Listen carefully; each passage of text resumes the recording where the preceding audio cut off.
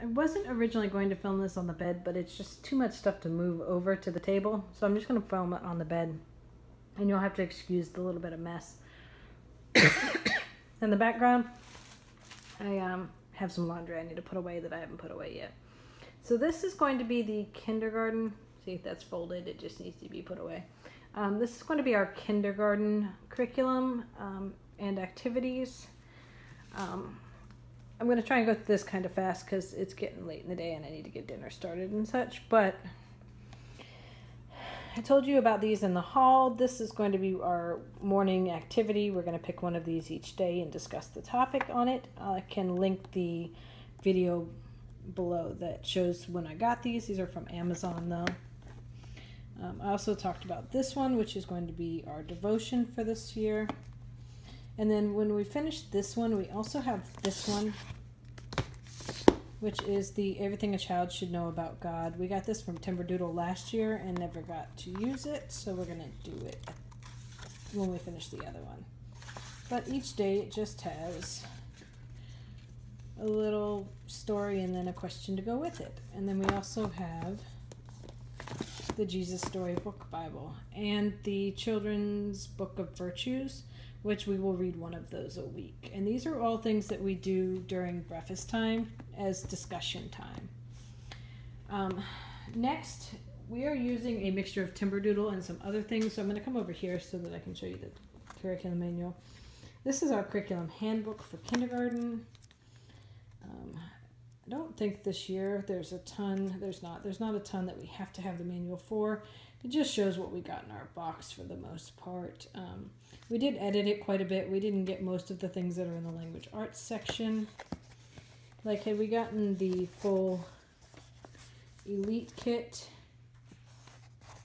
um, it would have had all of these things in it, but we didn't get the reading lessons, the spelling, or the square panda. And we will do the reading challenge more than likely, though. Um, I haven't even actually looked at that. Not quite sure where it's at in here. Somewhere in here is a reading challenge, though. Let's see, learning tools, maybe at the very end of the book. Let's see. Uh, this is table of contents. Sorry. Reading challenge, page 14.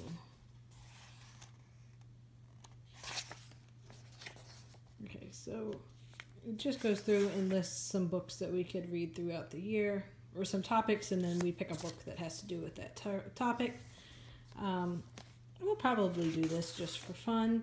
Um, we will more than likely fall under the committed reader because we do have a ridiculous number of books that we're already reading this year, or maybe even the exception. We have a lot of books we're reading this year, so we'll see.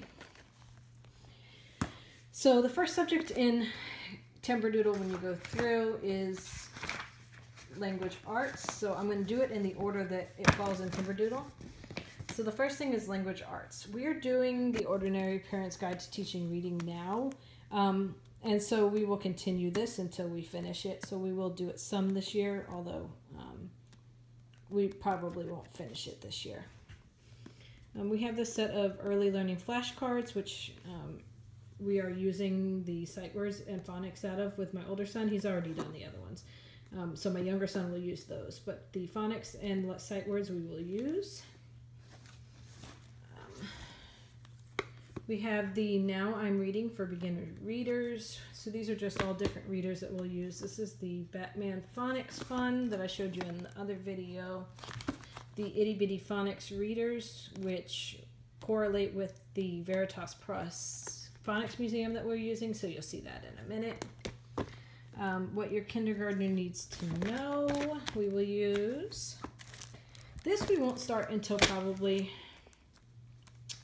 closer to January or February, more than likely, whenever we're getting close to the end of the Ordinary Parent's Guide to Teaching meeting. Um, I want to concentrate on phonics before I bring in language arts, which is like what is a noun and such. But I do love this program and I will be using it.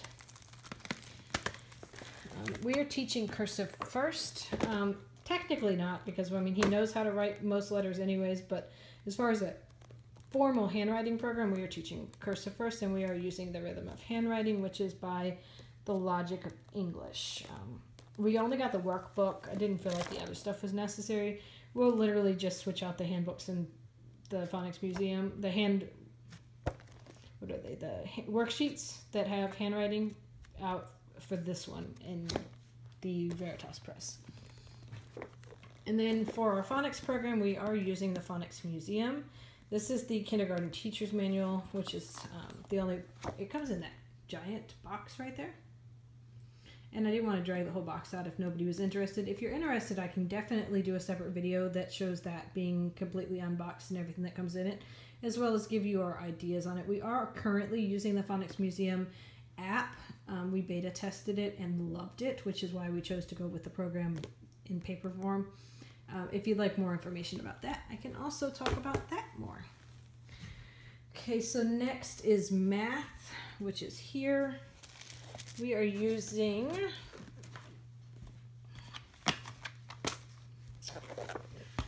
First, we're doing the math lessons for a living education, level one, because I feel like most of the things in here are a review. I was going to do this second, but I think that this is more of a review.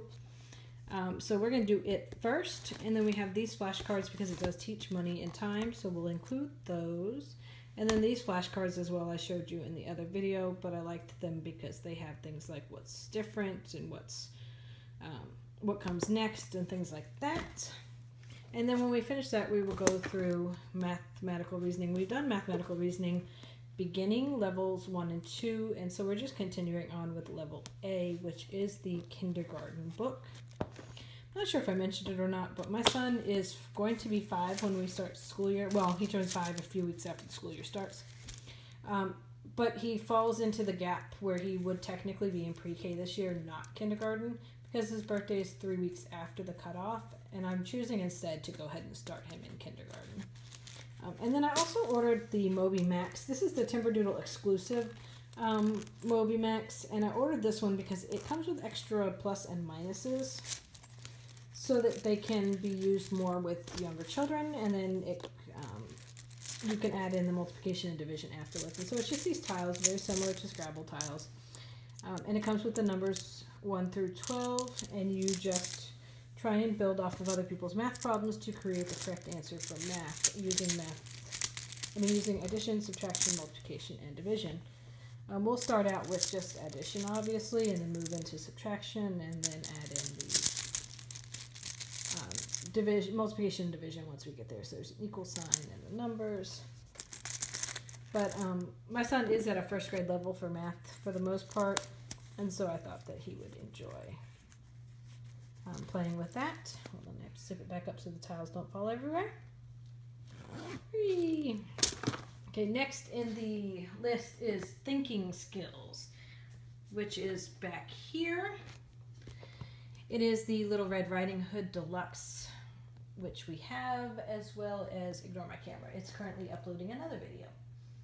Um, we skipped the Amazing Mazes. We have the Kumon books.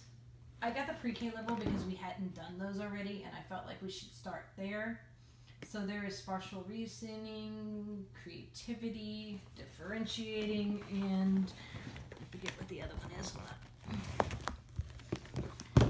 Creativity, and logic. And so we'll do those this year. And they're just little activities that you have to trace the lines and select the correct answers and such. And then the last thing in that category is uh, the developing learning, early learners, which we also left out. Next is history and social studies. Um, we actually left out the history program that they recommended, which was Bede's History of Me, and instead are using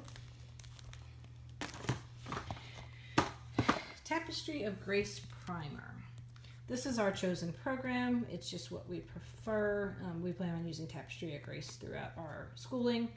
Um, so it is a kit. It comes with the guidebook, which is what you read um, so that if you don't know information, you read this ahead of time so that you can know what you need to know to teach the lesson. The Journey of Love, which is a book teaching about homeschooling and the different things that you have to do in order to be able to homeschool effectively. And these you read chapters throughout the program. These are the activity books. The first one is actually on the bottom uh, because I've already made some copies. Um, it just has little activity sheets that go with each lesson and you do those according to the lessons. The only thing I complain I have is it doesn't tell you when to do which sheets. So you have to remember to keep up with the sheets to look through and see which one falls where. And then this is the teacher's manual which just has like the lessons and a checklist of everything that you need to do each week. I do have an older version, so you'll see some whiteout where I've gone in and changed the page numbers to the new books that go with it, or um, replace the sheet altogether with a new copy, depending on how much it changed.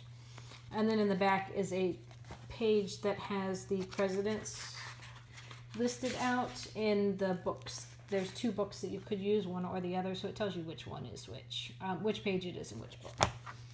Um, and then I want to show you this real quick. You'll see it more in depth when we do it, but I do make these copywork worksheets to go with the copywork that is supposed to be in. And I do use the website worksheetworks.com, and it literally just lets you type in words, and then you can use those to have them write the next line on the next line down. And so we're going to use these for our copy work because he's not writing very well on his own as as dictation goes, but he can follow a word it's written. So we're going to do it that way. And then because we don't have room for a timeline in our house, um, I chose to use the Sonlight Timeline book instead. And so we'll do all the timeline figures, but we will do them in here. And this just has two sections. It has the beige pages for the BC and the white pages for the AD and we'll add it in and we'll just continue using this book throughout the entire time we homeschool and just keep adding to it as we go through. So the next section is geography, which is over here. Are doing two separate things for geography. We have the beginning geography book, which we will go through. This came with our Timberdoodle, and it is literally just, yep, there's a map in the back which we have plenty of. Um, just different things about landforms and geography and activities, and it's just a little page or half a page easier each day. And then we're also going to learn some Florida history this year because we do live in Florida, so we have the My First Book of Florida, which has different activities like writing words that come out of the sunshine, shine, shade. Some of this will be a little above him, but we'll do the ones that he can of state birds and flowers and such. And then also we have this one, which I think my younger son will probably end up doing instead. Um, it's literally just coloring pages that have to do with different things from Florida. And then it also came with the Geo Puzzles 6 set, which is the World, US, Europe, Africa, Asia, and Latin America, which we'll just play with throughout the school year. So that's everything for our history and our geography. Next is science. We are not doing the kindergarten anatomy first, which is what this calls for. Um, we are going to be doing that second. So we are actually doing this book, the Exploring the Building Blocks of Science Book K activity book. Um, more for fun than anything. Um, I don't feel like it's super intensive as far as it doesn't teach a ton about things is literally just color the phosphorus orange and the boron, uh, boron light pink and neon light blue. Um, but it doesn't really teach all that well what the differences are or anything like that. It's just more of an activity book. Um, and so we'll go through and do these things. But we're not going to do it like as our main curriculum. I think it'll be more just activities to do kind of when we need something extra to do or when my kiddo's bored. Um, this is going to be our main curriculum.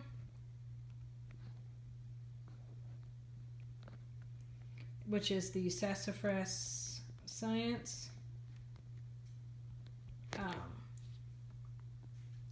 and we are doing volume one first, which is zoology. So we have that.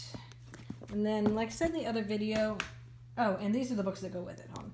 Um, these are like the cool, the mandatory books for it. The Kingfisher Encyclopedia of Animals and the DK Encyclopedia of Animals. This is supposed to be for the lower levels and this one for the upper levels, but I got both of them so that we have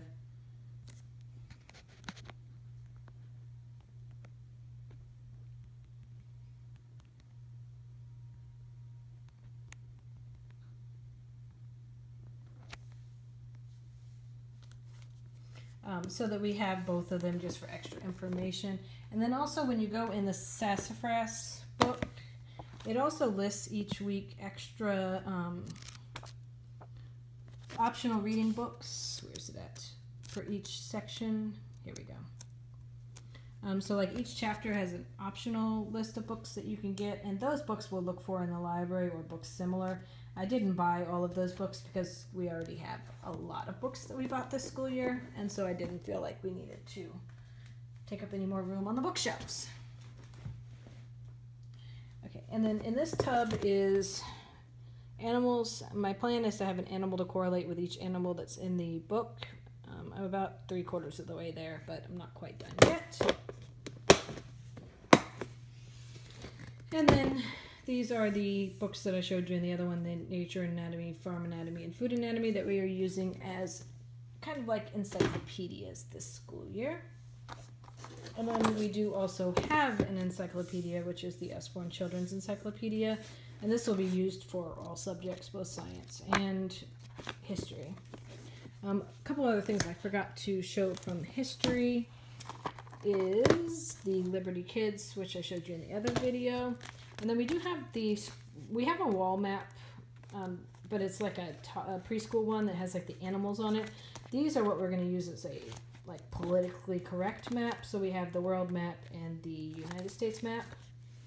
And then we also have our soft globe that we'll be using. And then to finish off science, we have, well, after we finish the zoology, we will go on to anatomy. And so we will use these with that section and that is the the body tube, the S1 look inside your body, the my action body and actions cards, and the visible human jumbo floor puzzle.